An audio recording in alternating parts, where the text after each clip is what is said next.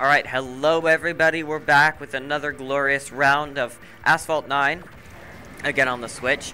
We have Hayden here on the top left, Dylan in the top right, and Ben in the bottom left. Now they're all neck and neck here. They pick pretty similar cars. Ben forcing uh, Hayden? Hayden out. These cars all have similar top speed except Dylan's, which actually had a 50 mile per hour overtake overhead on the others. So it seems like Ben and Hayden are going to be neck and neck this entire race, except that Hayden seems to be struggling on this jump here. Now, everyone gave your props to Ben. He is currently in first place and has never touched a racing game before, so props to you, Ben. Dylan here in second place, not far behind Ben. You can see him on the mini map. You're, he's only 2% behind, and Hayden just finished struggling with that jump here, not far behind Ben. Let's see.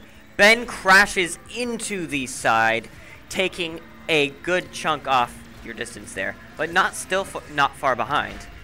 The acceleration on this car is insane, so Ben is able to pick back up on Dylan, and now they're back to a head-to-head, -head, and Hayden is struggling around these corners here, crashing his car. But he'll catch up eventually. And Dylan takes Ben out of the game. Respawning, taking around two seconds off. Ben is 3% behind Dylan here. He is riding on the concrete. What was that? Hayden struggling here around the corners, dying around everyone. Ben not far behind Dylan. Let's see, 2%. Not bad. Dylan is still struggling on these corners, allowing Ben to catch up. Because Ben can drift. Looks like we're going to have a tight finish here with Hayden coming in third. Ben again is 84% with Dylan in 88. They are not far behind.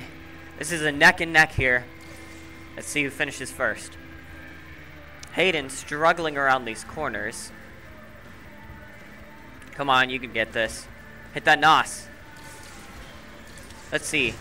And a beautiful finish with Dylan in first, Ben in second, and Hayden is coming up on third.